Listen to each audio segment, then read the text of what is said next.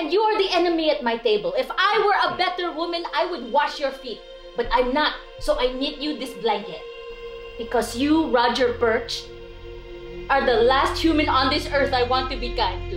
You're the last person who deserves it. And I don't know what it's called when you hate somebody and you pity them, but that's how I feel. And I miss your voice in my living room. I miss it, and my dogs miss it, and that's the honest truth.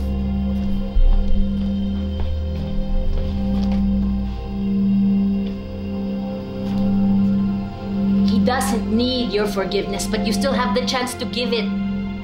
We don't all get that.